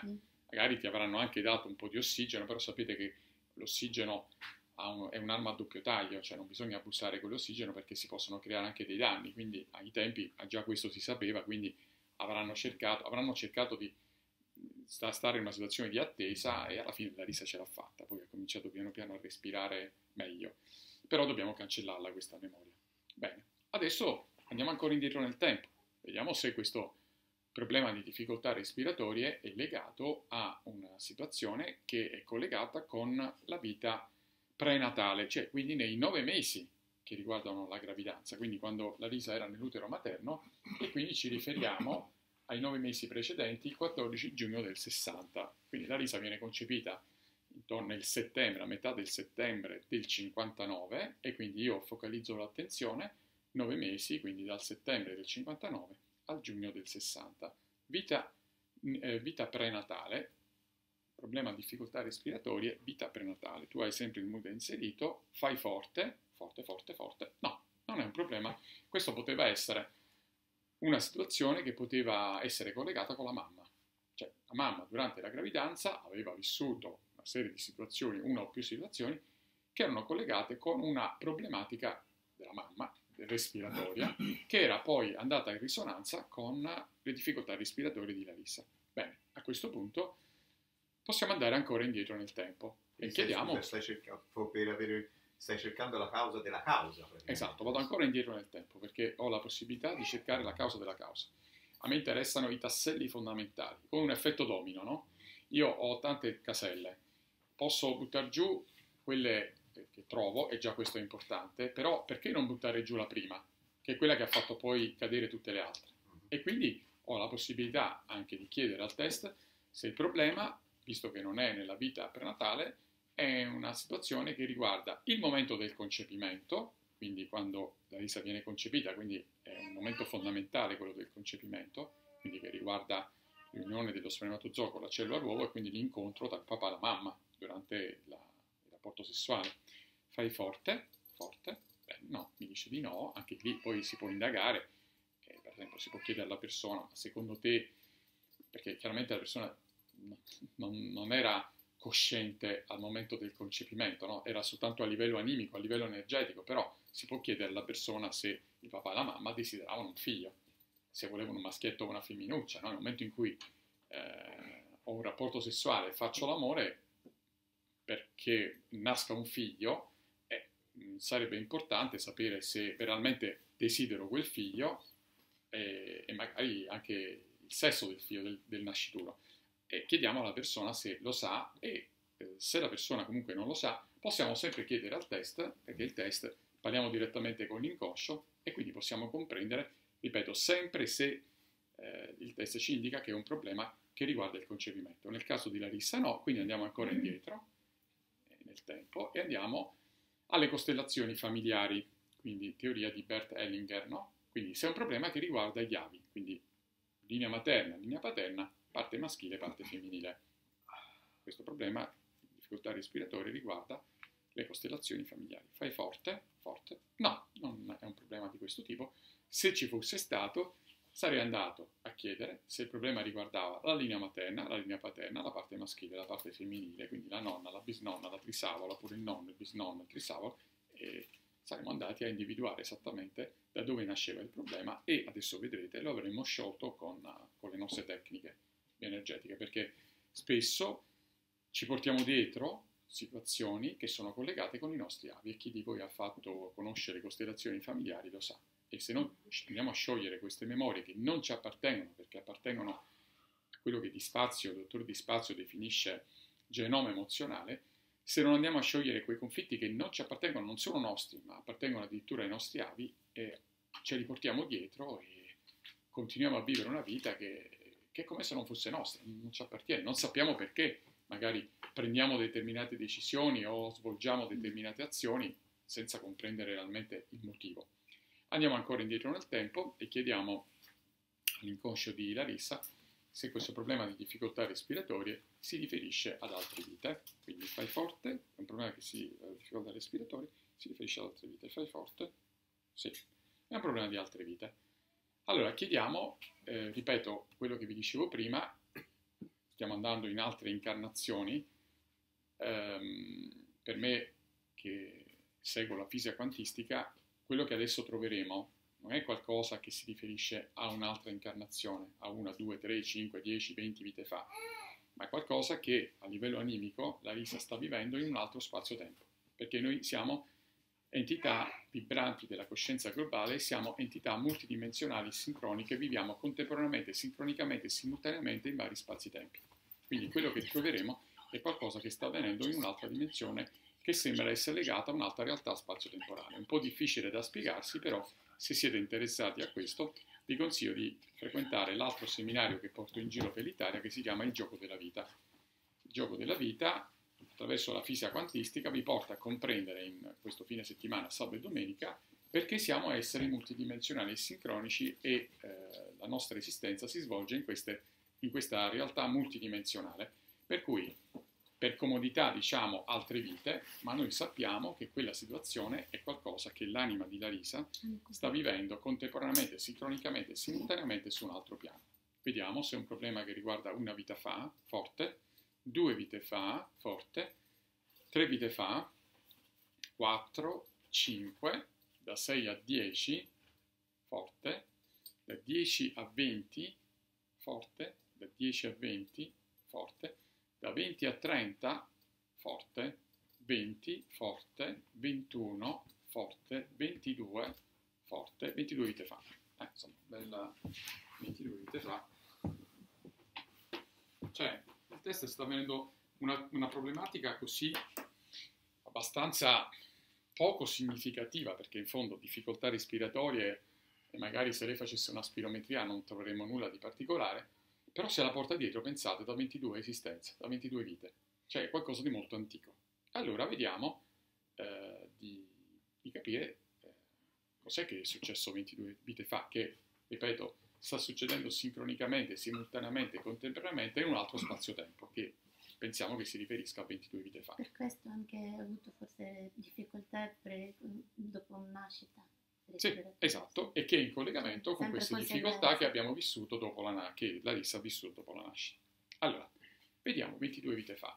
Intanto vediamo di capire dove ci troviamo.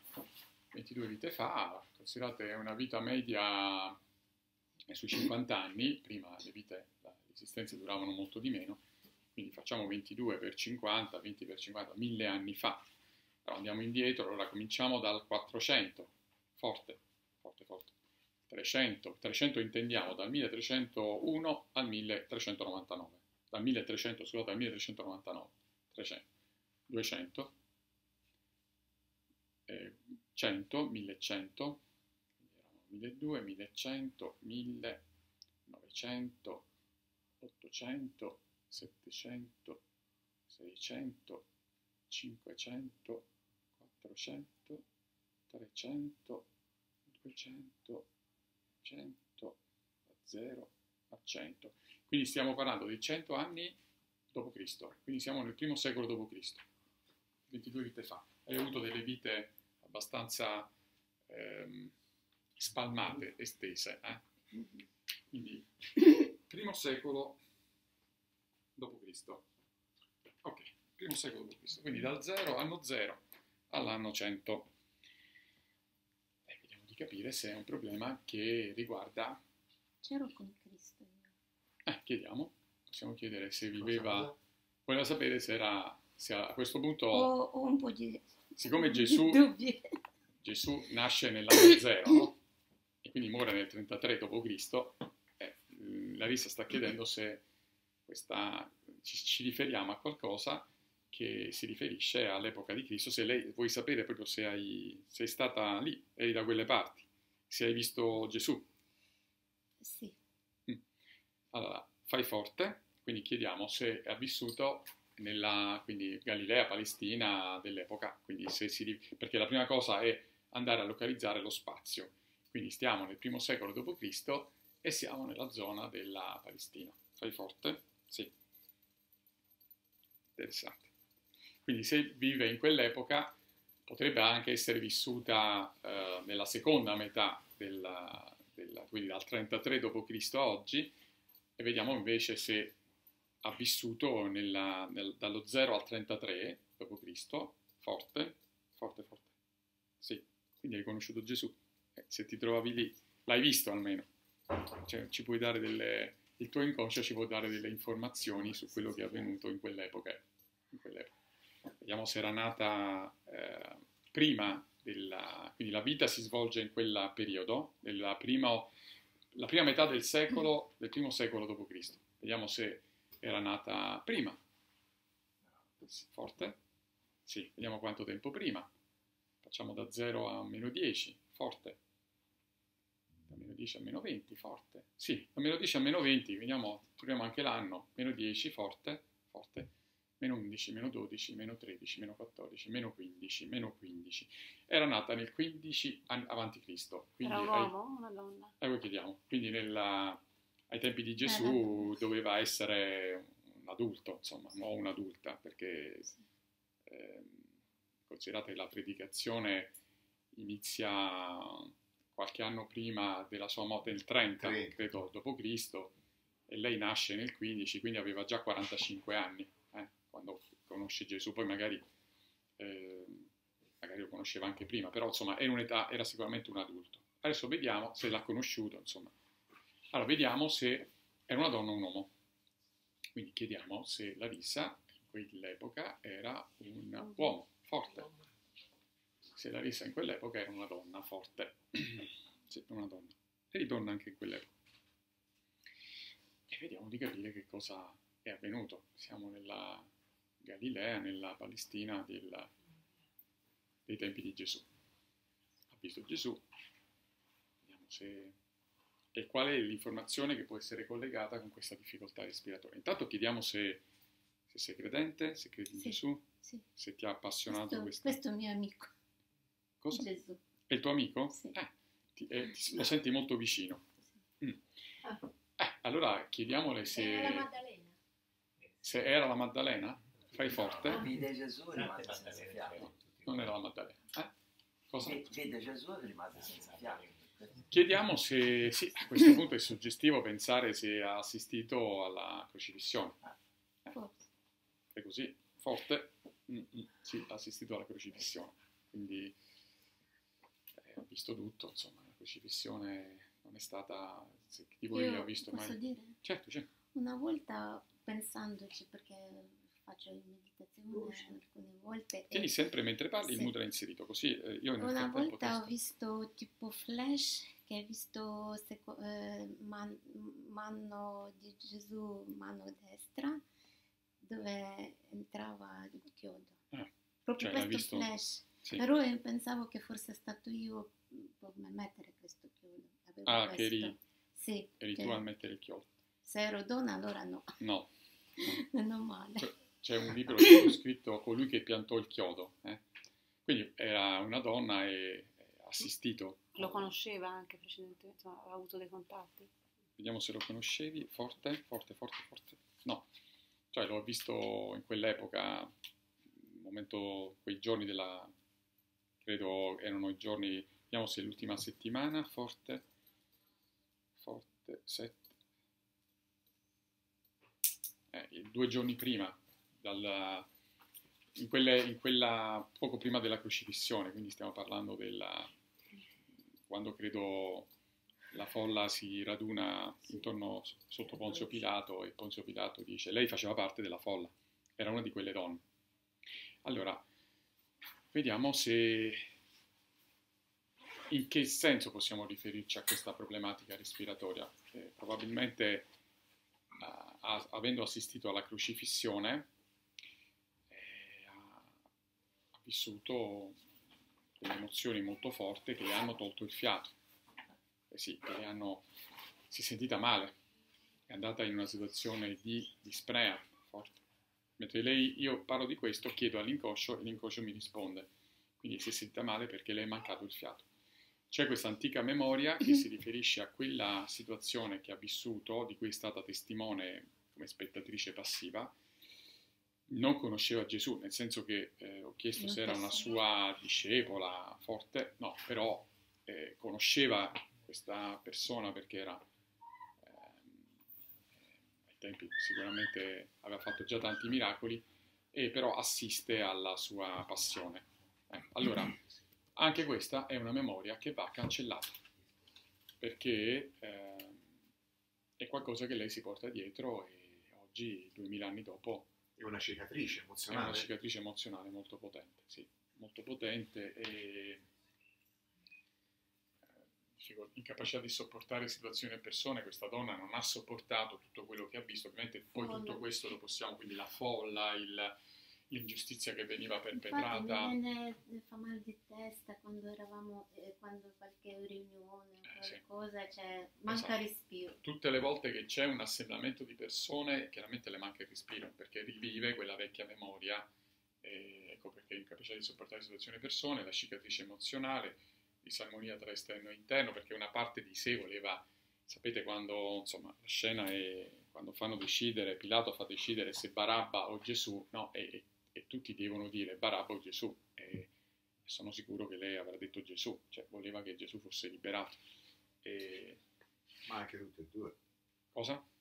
Sì, però no, probabilmente, probabilmente sì, ma tanto di fare una scelta la maggior parte delle persone pare che abbiano scelto Barabba e ah. c'erano pochi quelli che hanno detto Gesù, no? E quindi erano i suoi discepoli. Lei che non era, era apparentemente neutrale, io questo mentre lo lo, lo, percepisco perché in questo momento sono in risonanza con lei, ovviamente mentre lo dico, lei ha, ha detto Gesù, cioè avrebbe voluto che fosse liberato, in fondo aveva capito che, che era innocente, cioè che non aveva fatto nulla. Quindi è un senso di colpa? Vediamo, no, forte, forte. No, no, lei non è che è in colpa perché... Compressione. Che però quando... Sì, le è mancato il fiato le, e lei ha assistito tra l'altro alla crocifissione, quindi alla passione di Gesù. Forse, mm, come si può dire, piccola morte, ha vissuto piccola morte sì. con lui. Tipo, sì, l'hai vissuto perché... Sì. Ogni volta quando ci ricordiamo questo, c'è sempre qualche festa o qualcosa, se ricordiamo... Mi dis- mi, non lo so ah. proprio spiegare questa situazione, come mi vivo quando penso quando lui portava questa croce, croce, e quando ah. Era crucificato. Esatto, Beh, capite perché è una vecchia memoria, quindi se lo porta, metti sempre, inserisci sempre il mudra. E quindi tutte le volte che lei rivive la passione di Cristo attraverso delle scene simboliche, non so se avete visto il film di Mel Gibson, è un film terribile, no? Però fa vedere esattamente quello che è successo. Ovviamente, eh, ovviamente lei non l'ha potuto guardare, va in risonanza Adesso cancelliamo questa memoria e questo cosa ci permetterà di fare? Ci permetterà di liberare la rissa da queste informazioni antichissime, che sono memorie che si porta dietro dal passato, e finalmente lei comincerà a respirare meglio. Sembra una cosa magica. Adesso cosa faremo? Scusami, ma quindi per tutte le, 22 vite probabilmente ha sempre non avuto riuscita, questo problema respiratorio? Sì, non è cioè mai riuscita a sciogliere, a sciogliere quelle antiche memorie. Ecco, da qui viene una domanda per me che noi abbiamo una visione del tempo lineare, logicamente, e pensare a non lineare resta un po' difficile, un po però in questo caso, come hai detto te, allora quello che stai facendo ora dovrebbe influire anche sulle 22 vite precedenti che, sta, che, si stanno, che stanno esiste, una situazione verticale stiamo vivendo sì. adesso anche. Immagina, allora, immaginate che lo, la, il tempo è una uh, linea retta e noi pensiamo che vada dal passato, qui c'è il presente, qui c'è il futuro, è una freccia irreversibile. No? Vi, mm, questa è la visione occidentale del tempo. Nella visione orientale del tempo, invece, questa linea retta diventa una circonferenza, quindi passato, presente e futuro si trovano lungo questa circonferenza e dovete vederla come una dinamis, no? quindi i vari cicli delle reincarnazioni. Eh, nel primo caso ci portiamo dietro tutte le situazioni del passato, la religione addirittura ci dice che ci portiamo dietro il peccato originale, no? quindi abbiamo bisogno di espiare il peccato originale e poi aspettare la risurrezione dei morti e la vita del mondo che verrà perché dobbiamo poi meritarci il paradiso. Nella, invece nella visione eh, che è quella circolare, abbiamo bisogno continuamente di espiare il karma e trasformarlo in dharma, perché ci portiamo dietro zavore dal passato. Ecco, queste due modalità che sono legate proprio al tempo, se lineare o circolare, sono legate alla sofferenza, perché il tempo non è né orizzontale né circolare, ma il tempo è verticale, quindi passato, quindi immaginate passato, presente e futuro, io le porto lungo una linea che è verticale, passato, presente e futuro, mi metto in alto dalla linea e immaginate una, una semplice linea dove passato, presente e futuro si trovano lungo questa dimensione verticale, io guardo dall'alto una linea, vedo un punto. E quindi tutto quello che avviene avviene in modo sincronico perché io sono semplicemente l'osservatore di me stesso dall'alto. E osservatore di questa linea dall'alto vedo semplicemente un punto. Questo è il concetto del punto zero, è un concetto fondamentale della fisica quantistica. Quindi io adesso vado, sono su questo livello, nel caso di Larissa sono tante vite fa, 22 vite fa, pensate, quindi sono un livello che è molto basso, il presente è oggi, il futuro è legato appunto a tutto quello che avverrà in un domani, ma io sono qua. Ecco perché dico 22 vite fa è soltanto una convenzione, però a me interessa andare a sciogliere quello che si è verificato in modo tale che tutto diventi armonico e che nel ich e trunk, cioè nel qui ed ora, lei possa finalmente respirare bene. Quindi è un'azione che stai facendo anche sulle altre 21 esatto, vite. Esatto, su tutto quello che avviene, perché è come il gioco della mosca cieca. Quando arrivavamo, quando eravamo piccoli che giocavamo a mosca cieca, quando alla fine arrivavamo al traguardo e liberavamo noi, liberavamo tutti. E quindi in questo modo si liberano tutte le sofferenze delle altre vite. E allora, adesso cosa faremo? Semplicemente una, eh, mettiamo una sedia, mettiamo un in questa sedia, e a questo punto dobbiamo fare, non c'è più bisogno di, del mudra, dobbiamo fare, oh, io uh, applico diverse tecniche, il, faccio il quantum entrainment di Frank Islow, quindi è la tecnica dei due punti con la triangolazione. Primo punto, secondo punto, la triangolazione si fa con quello che Frank Islow chiama eusentimento, in questo caso l'eusentimento è quello dell'amore, cioè in questo momento eh, devo amare la risa come, come mai nessuno ti ha amata, cioè devo focalizzare l'attenzione su di te e ti devo dare tutto il mio amore perché tu possa liberarti da queste memorie che, che chiaramente non, non, sono le tue, non ti appartengono. E nel frattempo tu sei centrata su te stessa e ti affidi. E questo si chiama quantum entrainment, tecnica dei due punti, contatto con il primo punto, sento lo scambio energetico che avviene tra me e la rissa, contatto del secondo punto, quindi vedete tecnica dei due punti e poi è un sentimento. E nel frattempo faccio dire alla rissa delle frasi che riprendo dalla teoria della logosintesi di Frank Islow, si chiama logosintesi, però io l'ho eh, chiamata logosintesi quantistica perché le frasi sono molto simili a quelle che ha insegnato eh, il, questo psicologo olandese che si chiama William Lemmers, e, però mi permettono di entrare subito nell'inconscio e di andare a cancellare queste memorie. E quindi sono quattro semplici frasi, tu hai gli occhi chiusi, fai un bel respiro, così puoi dirci anche se il respiro che fai adesso è diverso da quello che farai dopo aver mm. cancellato questa memoria, queste memorie. E la prima frase è io attivo la mia essenza. Io attivo la mia essenza. Fai un bel respiro. Bravissimo.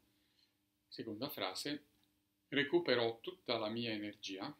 Recupero tutta la mia energia legata a tutte le situazioni legata a tutte le situazio- che mi, porto, che mi porto dietro dal passato che mi porto, porto dietro dal passato e che si riferiscono che si riferiscono alle mie difficoltà respiratorie. alle mie difficoltà respiratorie.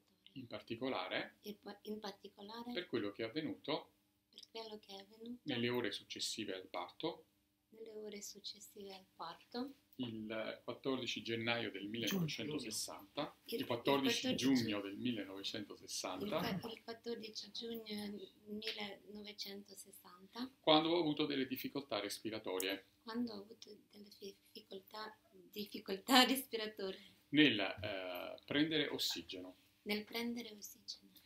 E per quello che è avvenuto, per, per quello che è avvenuto 22 vite fa, 22 vite fa nel primo secolo d.C., primo secolo d.C., quando ho assistito, quando ho assistito alla crocifissione di Gesù. La crocifissione di Gesù.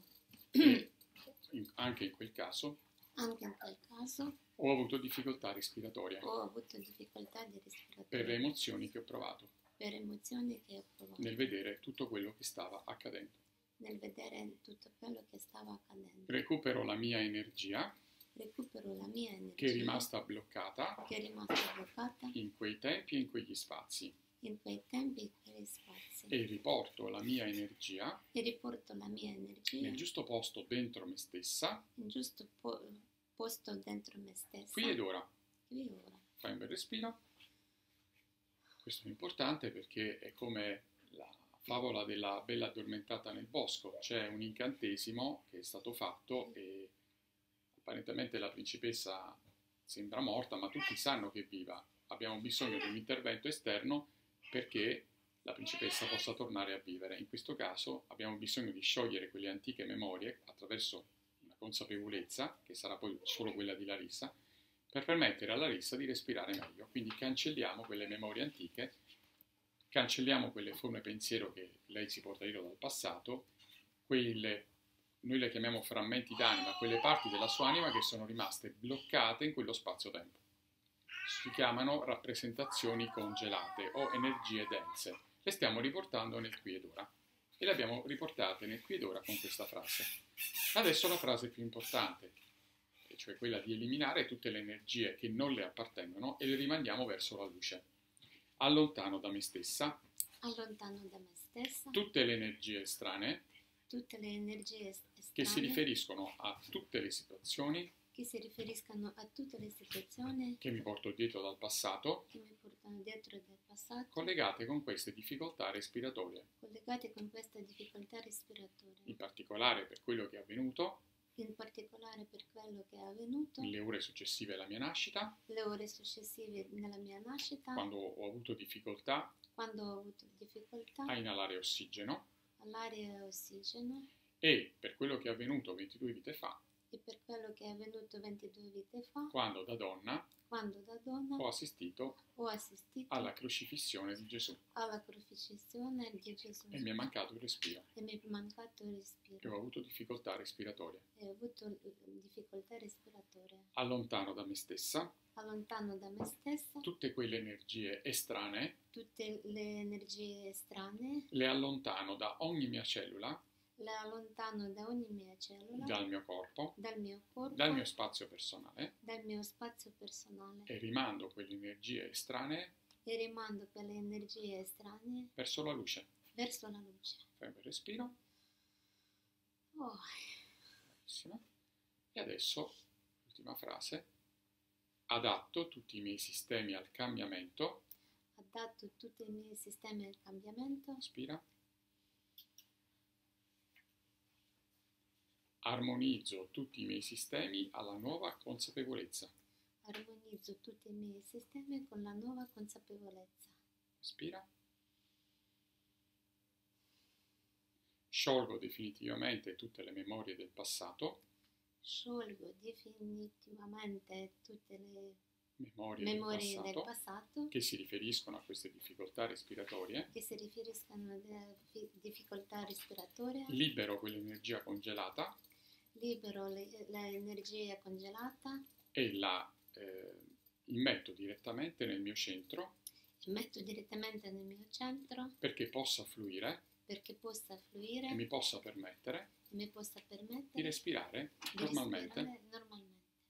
A pieni polmoni. A, pe- a pieni polmoni. Fai un bel respiro. Bravissimo. Perfetto, io già sento che il diaframma finalmente si espande, i muscoli intercostali svolgono la loro funzione di eh, ampliamento della cassa toracica e finalmente la risa sta respirando, sta respirando, sta cominciando a respirare finalmente bene. Questa, questo durerà nelle prossime 72 ore, ci sarà questa liberazione, questa catarsi, eh, potrebbe succedere qualcosa di molto bello nei sogni, perché abbiamo fatto qualcosa di non invasivo, non siamo andati, siamo entrati nell'inconscio in punta di piedi, abbiamo permesso all'inconscio di Larissa di esprimersi liberamente e adesso finalmente sei libera e puoi permettere di, di vivere una vita eh, a pieni polmoni. Fai un bel respiro, grazie. Grazie. Bene, grazie. Beh, abbiamo finito.